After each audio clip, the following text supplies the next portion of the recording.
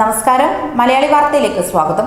ഉത്തരവാദ കേസിൽ പ്രതി സൂരജിന്റെ സഹോദരിയുടെ ആൺസുഹൃത്തിനെയും ചോദ്യം ചെയ്യാൻ അന്വേഷണ സംഘത്തിന്റെ നീക്കം. മാത്രമല്ല സൂരജിന്റെ അമ്മയെയും സഹോദരിയെയും വീണ്ടും വിളിച്ചു വരുത്തും. ക്രൈംബ്രാഞ്ച് സംഘം ഇന്നലെ പത്ത് മണിക്കൂറോളം ഇവരെ ചോദ്യം ചെയ്തിരുന്നു. കഴിഞ്ഞ ദിവസം ഇവരെ ഏഴ് മണിക്കൂറോളവും ചോദ്യം ചെയ്തിരുന്നു.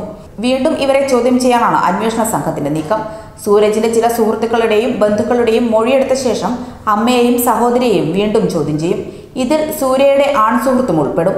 ഇതിനുശേഷം കൊലപാതക കേസിൽ ഇവരെ പ്രതിയാക്കണമോ എന്ന് പോലീസ് തീരുമാനിക്കുകയും ചെയ്യും. തെളിവ് നശിപ്പിക്കൽ കേസിലെ ഗൂഢാലോചനയിൽ പങ്ക് എന്നിവ സംബന്ധിച്ചായിരുന്നു ചോദ്യം ചെയ്യൽ നടത്തിയിരുന്നത്.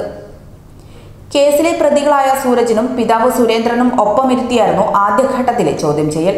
അന്വേഷണ സംഘത്തിന്റെ ആവർത്തിച്ചുള്ള പല ചോദ്യങ്ങൾക്കും പൊട്ടിക്കരച്ചിൽ മാത്രമായിരുന്നു അമ്മയുടെയും മകളുടെയും മറുപടി. കൊലപാതകത്തിന്റെ ആസൂത്രണത്തിലും നടത്തിപ്പിലും തങ്ങൾക്ക് ഒരു പങ്കുമില്ലെന്ന് ഇരുവരും ആവർത്തിക്കുകയാണ് ചെയ്തത്. ഉത്രയെ അണലിയെ ഉപയോഗിച്ച് അപായപ്പെടുത്താനുള്ള സൂരജിന്റെ ആദ്യ ശ്രമവും സൂരജിന്റെ അച്ഛൻ സുരേന്ദ്രന് അറിയാമായിരുന്നെന്നാണ് വെളിപ്പെടുത്തൽ. സൂരജിന് ഒളിവിൽ താമസിക്കാൻ അവസരമൊരുക്കിയ വ്യക്തിയാണ് സഹോദരിയുടെ സുഹൃത്ത്. ഇയാളെയും അച്ഛൻ അമ്മ എന്നിവരെയും അന്വേഷണ സംഘം വിളിച്ചു വരുത്തി വീണ്ടും ചോദ്യം ചെയ്യും. സൂരജ് സ്വർണം നൽകിയ ജ്വല്ലറിയുടെ മേൽ നിന്നും മൂന്ന് പവൻ കണ്ടെടുത്തിട്ടുണ്ട്. ഇയാൾക്ക് ഇരുപത് പവൻ സ്വർണം വിറ്റതായി നേരത്തെ ചോദ്യം ചെയ്യലിൽ സൂരജ് സമ്മതിച്ചിരുന്നു.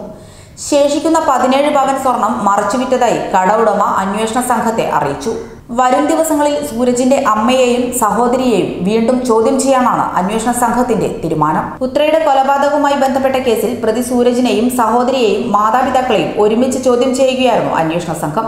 ഗാർഹിക പീഡനം തെളിവ് നശിപ്പിക്കൽ ഗൂഢാലോചന എന്നിവയിൽ കൂടുതൽ വിവരങ്ങൾ ലഭിക്കുന്നതിന് രണ്ടാം തവണയായിരുന്നു സൂരജിന്റെ അമ്മയെയും സഹോദരിയെയും ചോദ്യം ചെയ്തത്. ഇതിനിടെ സൂരജിന്റെ പോലീസ് കസ്റ്റഡി നാല് ദിവസത്തേക്ക് നീട്ടി ഇന്നലെ കോടതി ഉത്തരവിട്ടിരുന്നു. പുനലൂർ ഒന്നാം ക്ലാസ് ജുഡീഷ്യൽ മജിസ്ട്രേറ്റ് കോടതിയുടേതാണ് തീരുമാനം. കേസുമായി ബന്ധപ്പെട്ട് കൂടുതൽ അന്വേഷണം ആവശ്യമാണെന്ന് ക്രൈംബ്രാഞ്ച് അന്വേഷണ സംഘത്തിന്റെ നിലപാട് അംഗീകരിച്ചാണ് കോടതിയുടെ ഉത്തരവ്. അതേസമയം കേസുമായി ബന്ധപ്പെട്ട് ബാങ്ക് ലോക്കർ പരിശോധന ഇന്നലെ പൂർത്തിയാക്കി.